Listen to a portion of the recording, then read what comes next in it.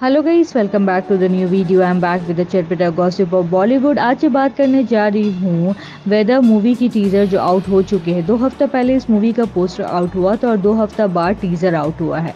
इस मूवी को बहुत ही ज़्यादा लोगों को अच्छा लग रहा है टीज़र देखने में, जहाँ पे Sharvari Wagh will be pair with John Abraham in the action thriller movie Vedaa इस मूवी को डायरेक्ट किया अदवानी ने, जो इससे पहले भी काफ़ी हिट मूवी को डायरेक्ट कर चुके हैं, जैसे कि बाटला हाउस कल होना हो और इश्क अब चार साल बाद दोबारा एंट्री किया है इस मूवी के साथ। इस मूवी को हमें थिएटर में देखने को मिलेगा 12 जुलाई। जी हाँ अभी काफ़ी टाइम है।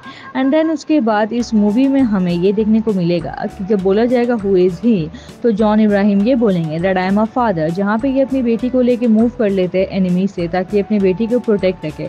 इस मूवी के एक सीन में हमें तमन्ना भाटिया भी देखने को मिलेंगी, और साथ ही साथ इस मूवी में विलन का किरदार निभाएँगे अभिषेक बैनर्जी।